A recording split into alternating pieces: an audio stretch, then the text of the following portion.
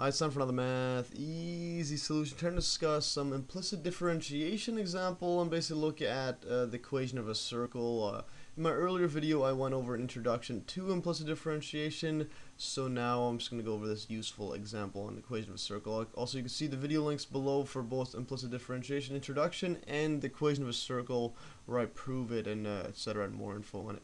So basically, the first, the, well, this example states part A of it states if you have this equation of a circle x squared plus y squared equals 25, find a derivative dy over dx.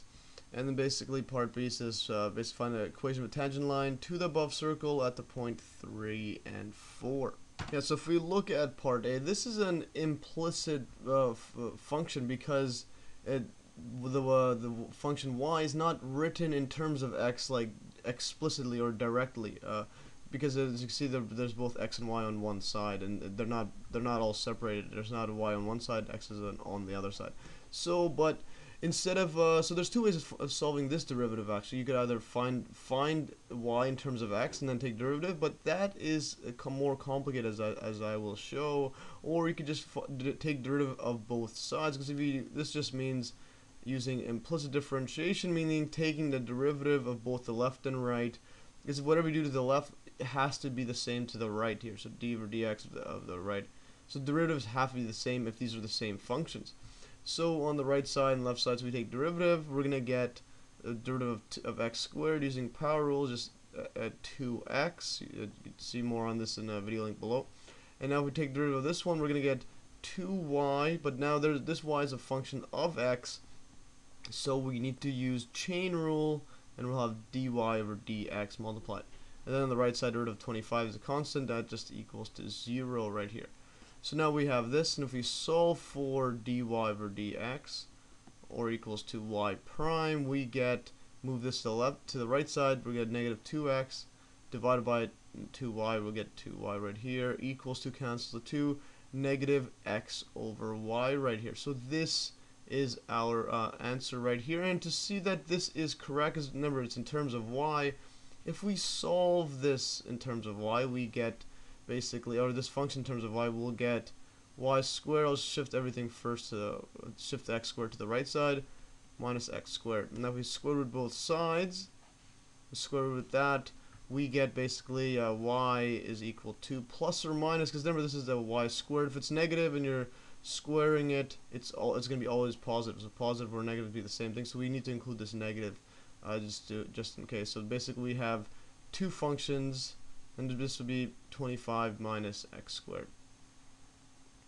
So this implicit function is actually made up two functions, and these are both semicircles right here. If we were to take the derivative of this, we get basically y prime is equal to, well, this is the same thing as uh, if we write this as plus or minus 25 minus x squared power of 1 over 2.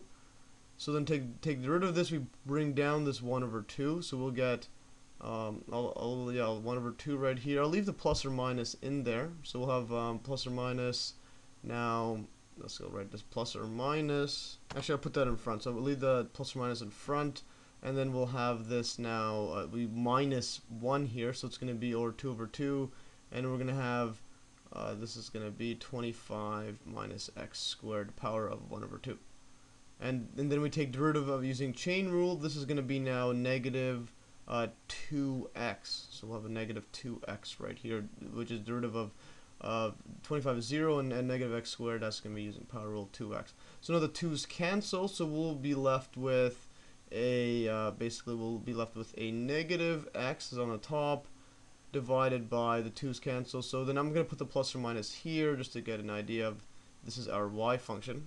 Yeah, and this is 25. This is the same thing as 25 minus x squared.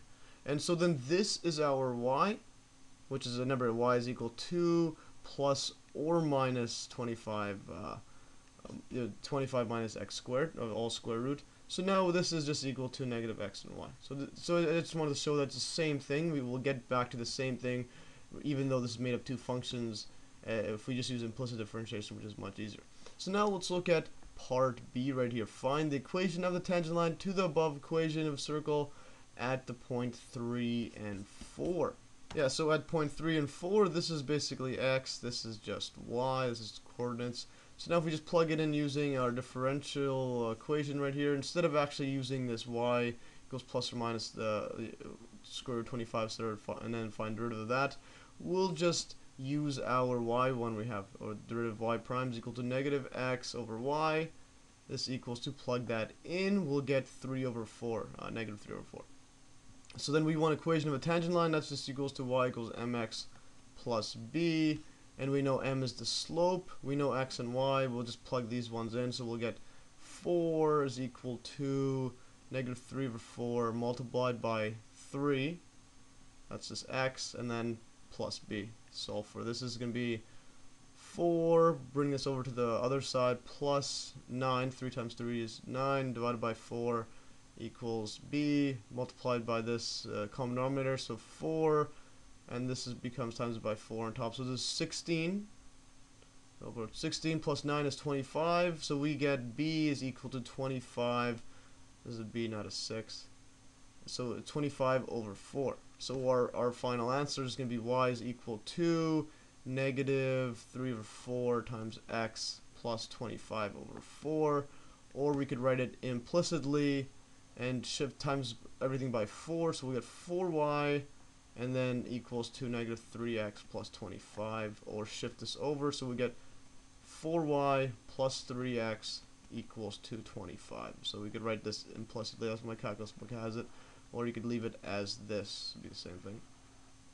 Yeah, and here I've actually graphed all three functions with Google Graphing Calculator. Basically, what I mean, the three functions is uh, this the, the equation of the semicircles. This is the square root 25 minus x uh, x squared, and this is square root 20 uh, negative square root 25 minus x squared. That's this one right here.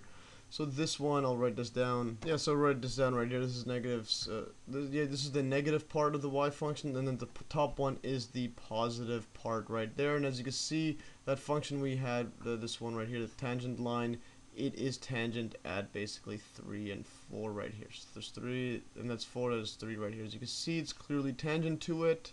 Yeah, and one more thing I just wrote down here quickly is that the derivative of this top one, we're going to have a negative x divided by 25 minus x squared all square root. And then this one here, there's the same thing, but there is a positive, well, there's a positive sign or there's no negative sign right here. So you can put a positive right here. That's because this already has a negative, the negatives cancel because we know that this equals to negative x over y this equals to uh, negative x over y as well. So these are both the exact same thing, but our y changes for these two top and bottom. Well, anyways, that's all for today. Hopefully uh, you understood from this uh, video. It's a lot of info, actually, just in the equation of a circle, and implicit differentiation, etc. Anyways, hopefully you learned. a number. you can download these exact notes in the Dropbox link below, and stay tuned for another Math Easy solution.